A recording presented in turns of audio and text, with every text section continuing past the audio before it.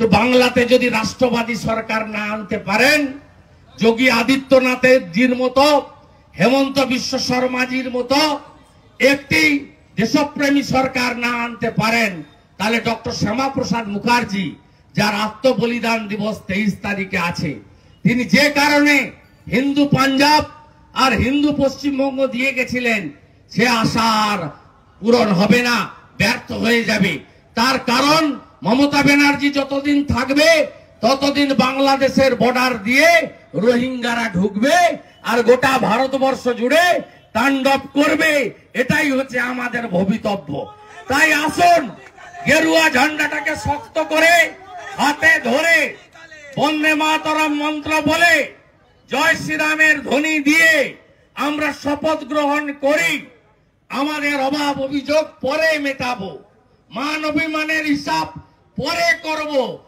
আগে একটা বুল্ডোজার সরকার নিয়ে আসি। যে সরকার বুল্ডোজার চালিয়ে এই আবর্জনাগুলোকে তুলে বঙ্গোপসাগরে ফেলে দেবে। আর বাংলা স্বামী বিবেকানন্দের প্রকৃত ধরতি ভূমিতে পরিণত হবে। আমি আমার কথা এখানেই বিরাম দিলাম।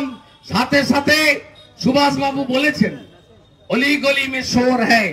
মমতা ব্যানার্জি চোর গোটা তৃণমূলী চোর। গোটা তৃণমূলী চোর। তাই গোটা রাজ্য জুড়ে আওয়াজ উঠেছে, চোর ধরো, জেল ভরো। গোটা আওয়াজ উঠেছে যে পিসি ভাইপো চোর, কয়লা চোর, বালি চোর, এখানে তাল তালডাঙ্গরার একটা এমএলএ হয়েছেন। তাকে লোক কয়লা চক্রবর্তী বলে।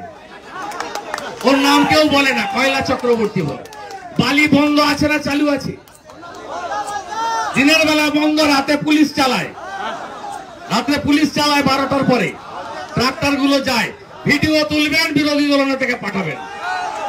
কোন অবৈধ খাদান বালি করলেই ওইসব গাঁজা বেশ বেশ চলে গেছে। ওসব ছেড়ে দেন, ওসব বুঝে নিব আমরা।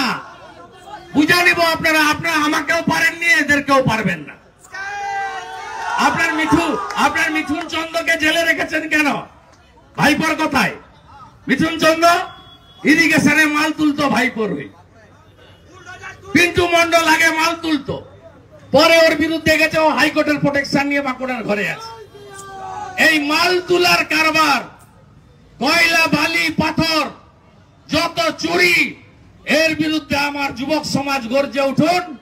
আপনাদের চৌকিদার হিসেবে বিরোধী দলনেতা আপনাদের সাথে থাকবে। সবাই ভালো থাকবেন। ভারত মাতা কি? ভারত মাতা কি?